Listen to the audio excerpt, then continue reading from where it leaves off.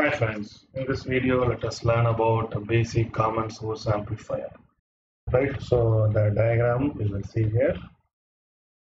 This is RSI, this is VI, and um,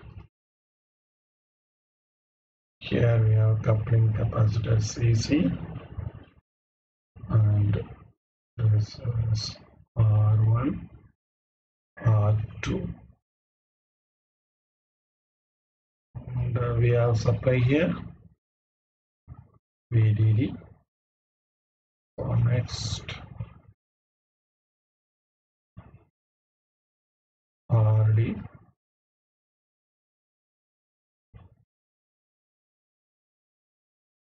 so this is VO this is one basic common source why it is common source? You see the source is this is source terminal this is gate and this is drain the source is common for both input and output side. So this is source is common for input side and this is output side this is input side. That's why it is common source.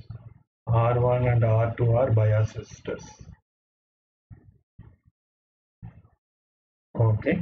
So let us see let, us first draw the small signal equivalent circuit of the given diagram. So here we know for small signal and we consider the signal frequency is very high. VA is small and high frequency. So this will become short. Okay so this one will be as it is. VI RSI so this will be VI RSI this is like this. Then you see these two are bias resistors R1 R2 if you find equivalent Thevenin's they will be like this one.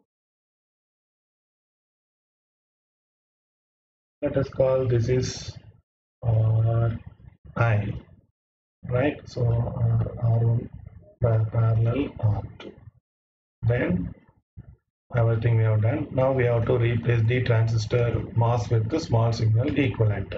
We know the small signal equivalent of the MOS is like this plus minus here GMVGS it is in MOS. We consider channel length effect so we put RO also and output side the MOS is replaced. Then what is the only remaining thing is RD for AC analysis we have to make DCS 0 that we know. So then we have only RD then we S plus minus gate source and uh, drain right okay so from this we will find what are all the things. The three main parameters. We have to find AV RI RO okay so you see these two are parallelism. So I can write RO parallel RD right? What is VO VO is this current which is flowing in opposite direction. So minus to plus so it is minus GM VGS these two resistors combined parallel. RO parallel RD so what is VGS right so here VGS we have to find. It VGS is the voltage across these two terminals so how can I say? This is open circuit so current coming here will go here. So it is these two are series. So VGS is equal to from the diagram total input voltage I apply voltage divider rule R1 parallel R2 let us call that is Ri. This resistance I call it as Ri.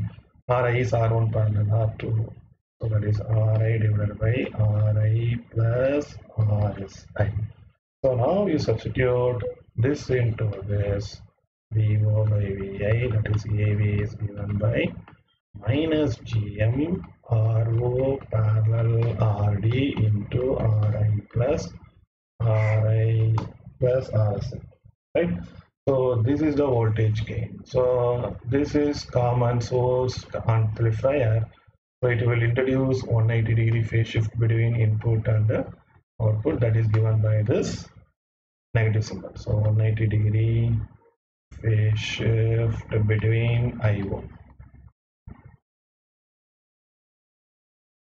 Right? Okay, this we have done. So first thing we have completed.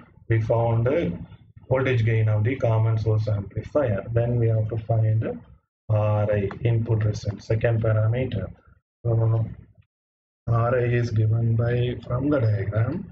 You see what is RI? The RI is the resistance looking into the input terminal. So this is RI.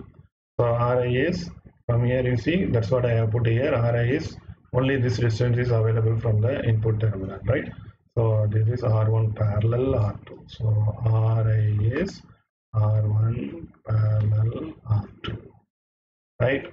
Next to RO, output resistance. How can we find output resistance?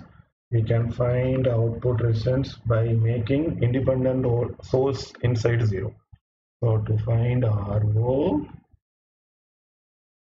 make R set independent input source equal to 0 right? So here what is the independent input source? Here independent input source is VA so VA is 0 VA is 0 means what will happen? VA is nothing but vg independent source. It is VA it is nothing but vgs right? So VA is equal to vg this is same one. Right? So if you put independent sorry here it is having vgs input source vgs 0 so VGS 0 means what will happen? VGS 0 means this term will become 0. This term will become 0. So it is open. I 0 means VGS 0 means current source 0 open. So what is the output resistance? We have only two resistance RO parallel RD. So VO, sorry, VO is RO parallel, sorry, RO. So RO is RO parallel RD. Right? So we find everything. So in for the transistor to act as amplifier, Q point must be in the middle of saturation. That is very very important point. Right? First point. These are all things you have to remember. Then input signal must be very small. Input signal must be small. Why it should be small? For amplifier to be in linear. For amplifier to remain linear.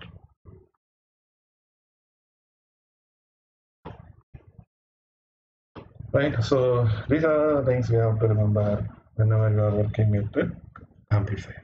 Thank you.